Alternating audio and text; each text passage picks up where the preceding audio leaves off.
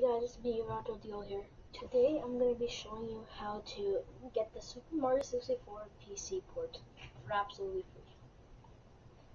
So let's so first need the essentials. So first need first thing you need is to search on Google is SM64 PC Builder 2. So Mario SM64 PC Builder 2. And it should be this one. SM64PC.info and SM64 PC Builder 2 then click that. Then you want to go down here. You need to find MSys 2. Hit the 32-bit version, and as you can see, it's downloading. I already have it downloaded, so I don't need to do that. So once you so once you download you just gotta install it, and then if it pops up, then just close it.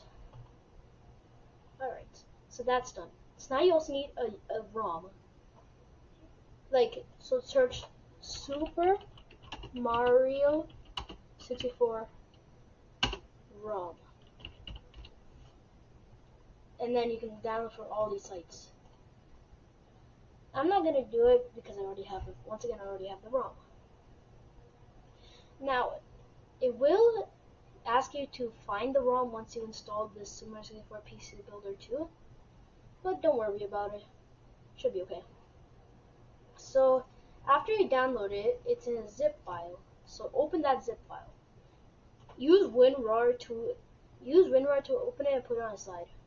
Then make a folder called Super Mario 64 PC port, port, and then put this into that folder. Then what you, what you want to do is start a PC builder. Hit yes.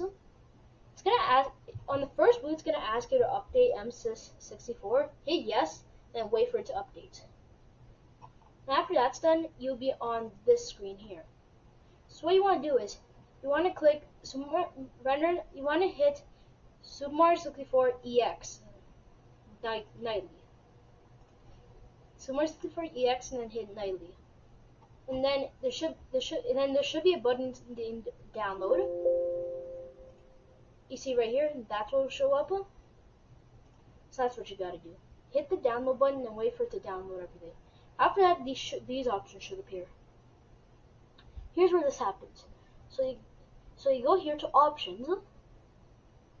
So what you, what you want to do here is um, go to savable options. Make sure it's running on OpenGL 2.1. And turn on, turn off launch game upon on successful compile. Turn that off because uh, yeah, you don't really need that. Next thing you want to do is go to is go to models. So what you want to do here on the model screen is checkmark vanilla 96. That's all you got to do there. And then go to patches. Then go to patches. So this would be selected by default. Just unselect, unclick, just click that so it's unselected. Then go 60 FPS and leave ending screen. You see that's done. Now go textures. Render 96 high definition. And then yours will say install, but since I've already done it, it's going to say update. So now wait. So now it's going to... Now yours will take longer than this, but yeah, yours will take longer than this, but you want to hit eh, Render 96 high definition, this one, and then hit up, then hit install or in my case update. Now you go to overview. So this is what you got here. You got the US version, 60 frames patch, and the ending screen. You also got the vanilla 96 models. Then you want to hit compile. On yours, it will just start immediately, but for me, I'll need to hit hit. I'll need to reset this. So, yeah. Here goes. So now I'm to stop the video here and then we will check it out later.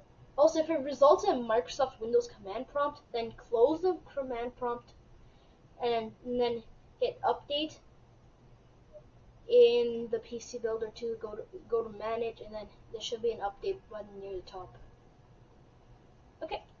So we'll just have to wait until this is done. Okay. Just you know, if it shows any errors like nothing to do, leaving directory, that's okay. So bye. I'll. I mean, never mind. Actually, I want. Okay, uh, there's something I wanted to quickly say.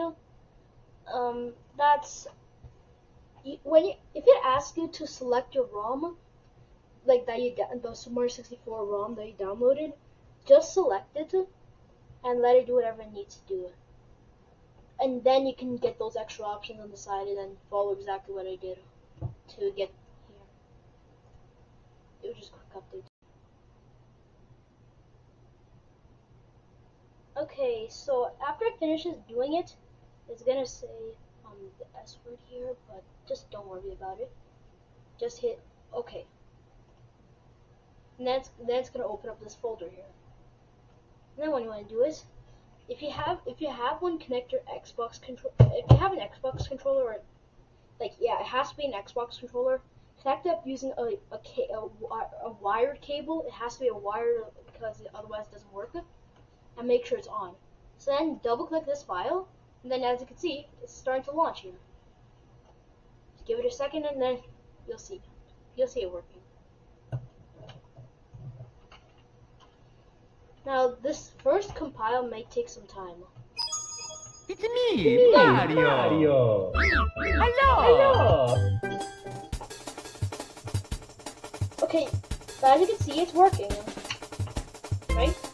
So that that's good. Now hit the three lines on your Xbox controller to start. I already have